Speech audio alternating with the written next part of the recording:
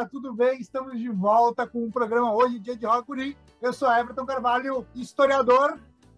Eu sou Guilherme Wunder, jornalista. E hoje nós estamos aqui para falar do álbum Cowboys Espirituais, da banda Cowboys Espirituais. Isso mesmo, vocês não estão no programa de vaquejada, vocês estão no programa de rock. E hoje nós vamos falar sobre Cowboys Espirituais, o disco de 1998, que nos grandes álbuns do rock gaúcho estava na lista de 79 dos curadores. Esse álbum ele tem na formação dele Júlio Reni como vocalista e violonista, Márcio Petraco na guitarra, Frank Jorge no baixo e Paulo Arcari na bateria. E ele foi gravado pela Trama.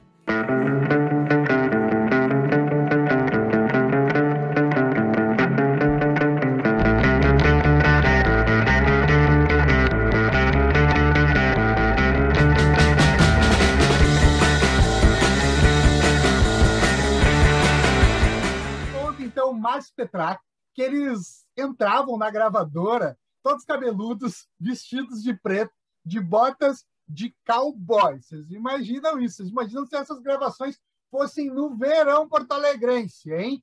E os caras, então, estavam acostumados com Balão Mágico José Augusto, eles tiravam eles meio que para metaleiros. Então, a gravadora, a galera da gravadora, principalmente Rio São Paulo, lá, estava acostumado com uma galerinha ali a gravar outras coisas, gravar ali, né? Balão mágico, essa outra galerinha. E chegava essa galera toda de preto.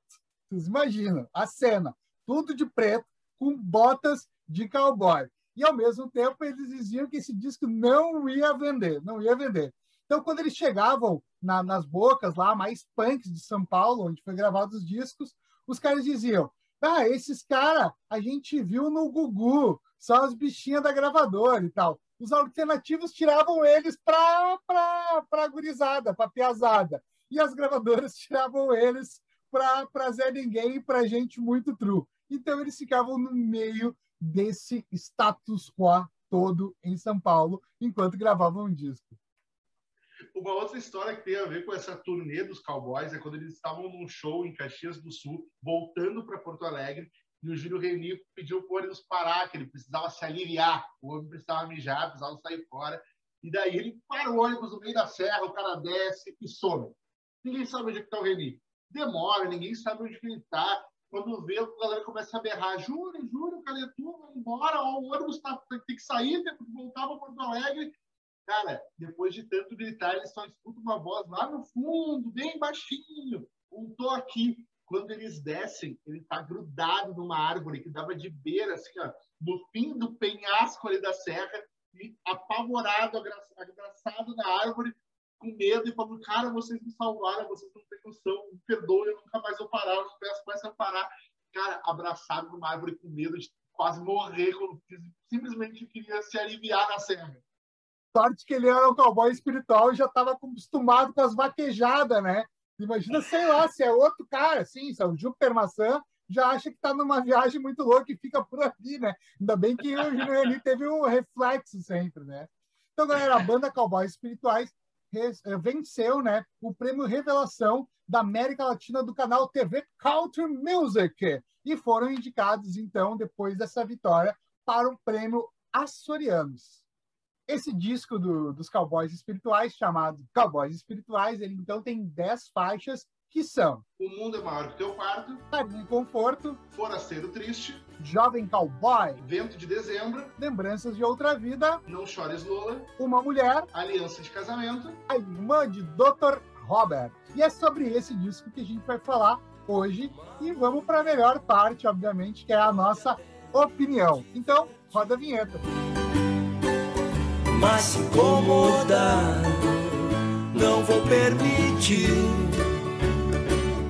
Esse é álbum, gente, que, é, como vocês puderam ver, até uma curiosidade é que eles ganharam um prêmio de country, é que por mais que eles sejam um álbum de rock, sim, são um álbum de rock gaúcho, eles têm essa referência do country, eles devem muito nessa fonte. A gente vê, por exemplo, em Jovem Cowboy, que talvez seja o maior destaque desse álbum no sentido de alcance que a música teve, que a banda teve, que ele brinca com country, chega a ter até algumas referências ao rap em alguns momentos da música, mas assim, é um clipe premiadíssimo, né, que ganhou tudo e que acho que mostra um pouco do que, que é o Cowboys Espirituais. Então, acho que uma coisa importante é assistir um pouco desse clipe, né? Afinal, o clipe ganhou prêmio, então assiste aí o clipe do Jovem Cowboy.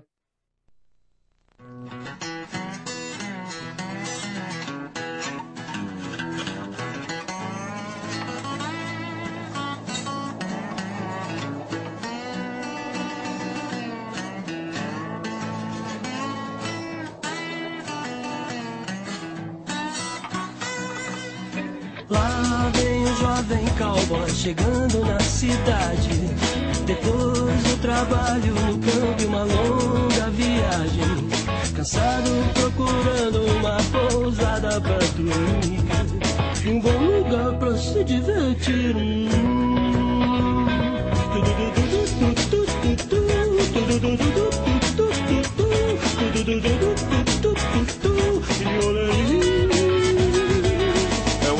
Sossegado, eu chego com moral. Uma nova cidade, todo lugar é igual. Eu vou chegando de canto, o terreno. O mundo é tão pequeno, eu já passei tanto veneno. E treta, melhor nem lembrar. Outro dia, neguinho queria me matar. Mas sempre.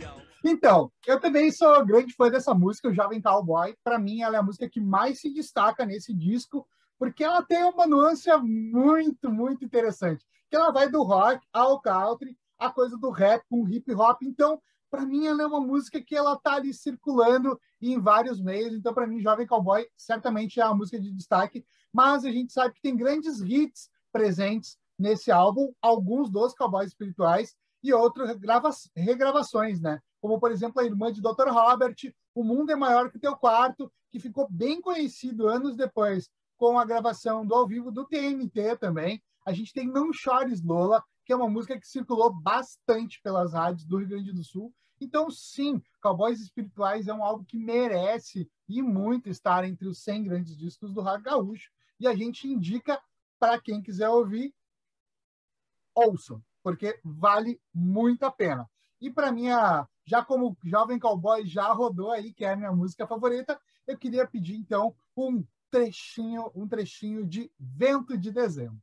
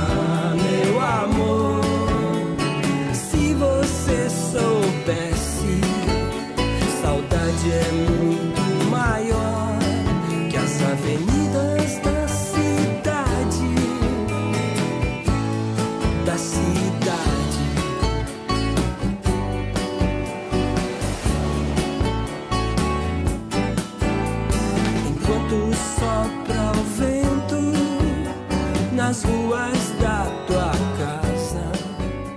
Eu tava pensando enquanto tu falava em alguns álbuns anteriores, como o do Ney Lisboa e o do Júpiter, a gente sempre brincou de como esses álbuns não pareciam fazer, as músicas não pareciam compor o mesmo álbum, de tão diferente que era.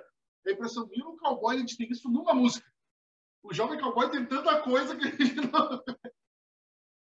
É, Eu acho que o Jovem Cowboy serviu como uma coletânea do disco inteiro, assim, né? Cara, assim, eu acho que é muito importante esse, esse álbum, assim, que tu falou de muitas regravações. E uma coisa que é importante, afinal a gente começou a, a desenvolver essa terceira temporada baseado no livro, na publicação do livro Sem Grandes Aulas do Gaúcho, que foi que deu aquele estopim, que a gente fez o vídeo apresentando, vocês já sabem, e podem olhar que está no canal aí o vídeo.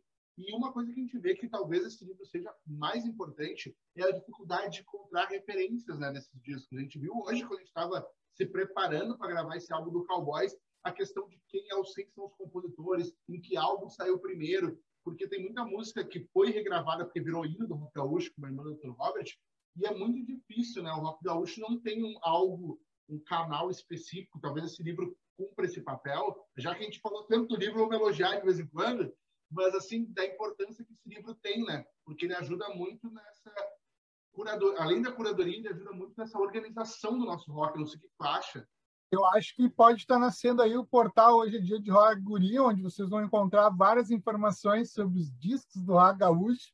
Então, fique atento, é a quarta temporada, ela não vai ser nem o podcast e nem o videocast, quem sabe ela vai ser um portal. Descubra, mas para isso a gente precisa de financiamento. Então, olha para nós, Rock. Ó, dá uma respeitada para os guris, que os guris estão fazendo serviço bom. Quando tu fala, olha para nós, tem alguma referência a camisetas, a roupa? Pode ser também, né? Qualquer coisa que vim, vem bem.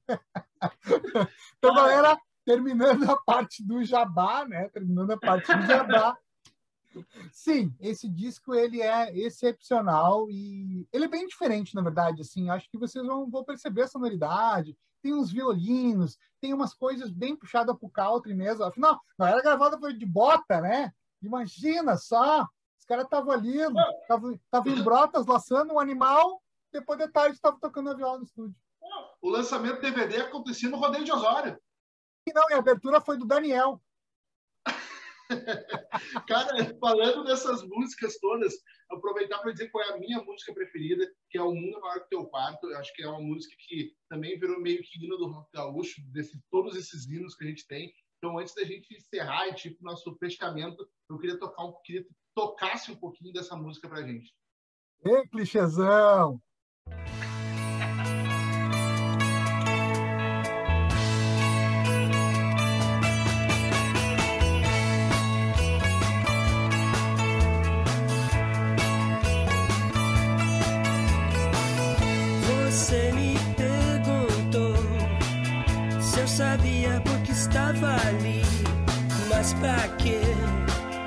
Procurar explicação? Já tive o suficiente, já cansei de confusão. Tava ali pra esquecer a solidão. Melhor não responder o que você quer me ouvir dizer.